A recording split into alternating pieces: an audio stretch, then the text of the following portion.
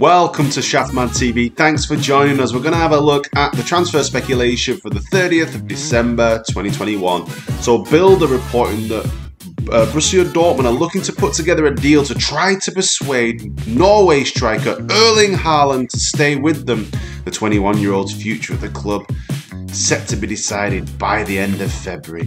ESPN is saying that Man City will wait until summer to add a striker to their ranks, with the club retaining an interest in Spurs striker Harry Kane and also having Haaland amongst their targets.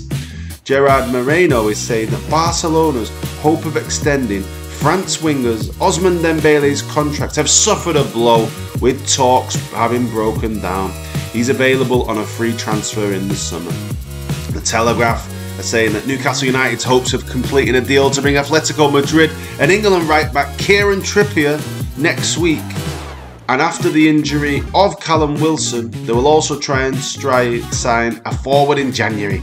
Tuttosport are saying that Chelsea have asked about the availability of France left back Theo Hernandez but AC Milan will not consider any bid less than £50.5 million.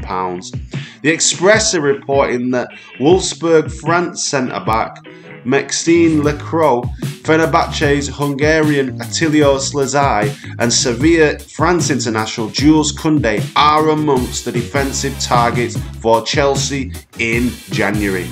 The National are saying that Paris Saint Germain are believed but still believe they can tie Kylian Mbappe to a new deal and stop him joining Real Madrid.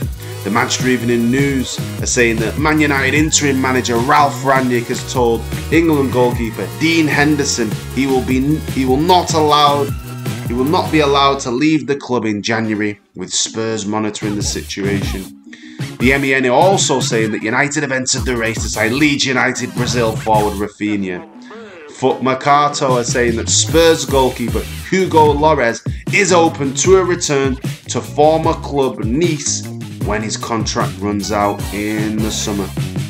Mundo Deportivo are saying that Seville have little room to increase their offer for France forward Anthony Martial after Manchester United rejected the Spain club's loan move for the 26 year old.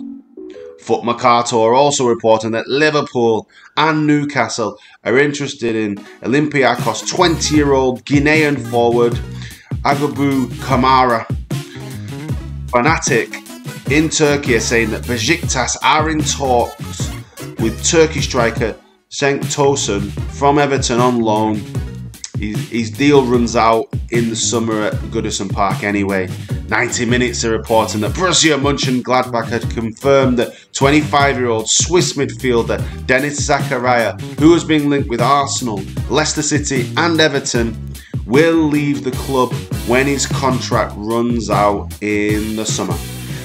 Sky Sports Italia are saying that Napoli are interested in signing Manchester United defender um, Alex Tuanzebe that's Axel Tuanzebe.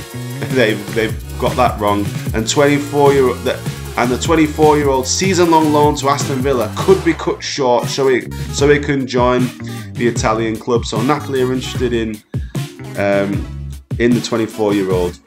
El Nacional are saying that Manchester United interim boss Ralph Rangnick could look at Barcelona's 22 year old Uruguayan defender Ronald Araujo potentially available for 30 million pounds to solve their defensive problems. And the final bit of transfer speculation, it's been a long one, is from La Gazzetta dello Sport. Juventus are, will be willing to sell Sweden winger Dejan Kulusevski for 35 to 40 million euros in January. Arsenal, Spurs, and Bayern Munich are all interested.